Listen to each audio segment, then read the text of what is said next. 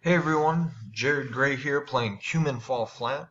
Uh, this game was developed by No Brakes Games and published by Curve Digital, and it was made on the Unity engine. So we're gonna jump in real quick and see how the game runs. So we're gonna go to the first level, uh, and this is just the easiest to explain most of the mechanics and get a general feel for the game. As you can see, the player starts out and they've just flopped to the, the ground just instantly. Um, that's because this game overall is a, it's a ragdoll physics-based game. So you have a ragdoll character that you control.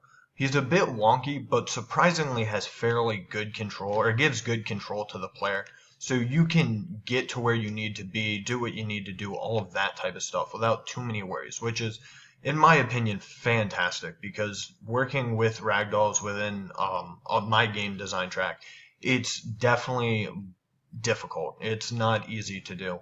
Uh, so going through, your controls are just you move around with the left and right stick, and as you can see, the, the feet will move around as if he's stepping, and it looks a little bit weird, but this is because this animation is handled with inverse kinematics. So essentially, the engine will find the feet, uh, figure out where they should be based on the player's velocity, and the height and all of that type of stuff, and it will try and account for that and make it hit the ground at the correct spot so that it looks like the player's walking what all of this is saying is that there's no animations for this done by an artist. All of these animations are handled in the engine by programming and the engine itself. So none of this was pre-rendered by an artist. They didn't spend forever figuring out every possibility that you could do, which gives it this uh, wonky feeling and allows the ragdolls to really shine through. Um, you can also control the hands and arms which is great for climbing onto stuff like this ledge right here. You can just grab on and climb on up and do all of that.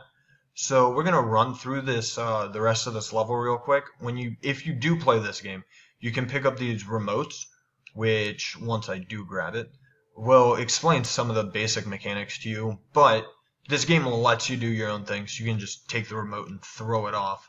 Um, as you see, the remote will fall down it will actually respawn right behind you because even though you can do what you want, it wants you to, you know, learn the game if you need to. It, it really is a great game for not punishing players and letting them explore, which is fantastic. And as you see, I just jumped off and you respawn almost instantly. It looks seamless. You respawn towards the top of the map and fall back down, uh, which really doesn't punish the player for exploring. Like if I wanted to run over here and say, hey, can I make this jump? And it's like, oh, well, I can't. I don't die and, you know, have to restart the entire game and lose all of my progress or feel like I really lost that much to it. It, it really helps the players explore um, and not get as much anxiety for failing. And I think that's fantastic for this type of game. Um, apologies if there is a frame rate issue with this running with the screen recorder it can be a pain with my computer trying to handle both at the same time, but we're just going to keep trying to power through this. Um, we've got some buttons you can press, you know, boxes you can pick up, all of that type of stuff.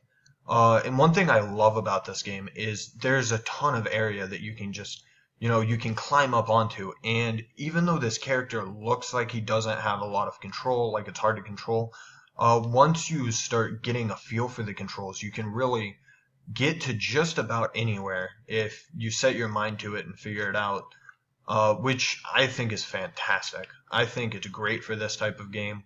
We didn't quite make that ledge, but you know that's okay. But just being able to run around and test all of this stuff is great. This game, um, clearly, it's a very clear, um, not copy of, but it's very reminiscent of Gang Beasts, which is another Steam game or a Windows game that is ragdolls, but that's fighting. This one's more about platforming and um, you know, sometimes it's working together. More so, it's a puzzle platforming game in the lieu of Portal or even the Stanley Parable, and it has a lot of the same feel as those two, where they don't care as much about theming or narrative. Those two definitely have more theme and narrative to them, but at the same time, they're not worried about looking like the best games. They stay rather minimalistic and they say, hey, let's focus on what we're trying to achieve here, which I personally think is great because I don't think every game needs to look like a movie.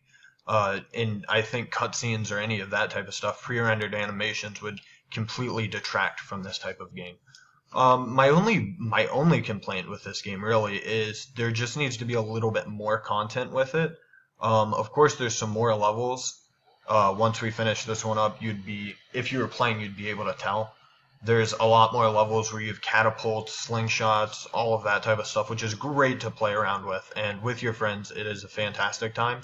But again, my only complaint is just I wish there was more content, which really isn't too much of a complaint considering this is a $10 game. You definitely get your money's worth, but if your only complaint is you need more content, then like it means you've made the developers have made a fantastic game, and in my opinion, that's absolutely correct. And I just have a blast playing this game. So thanks for playing. Thanks for checking this video out, and hope you guys check out this game when you get the chance.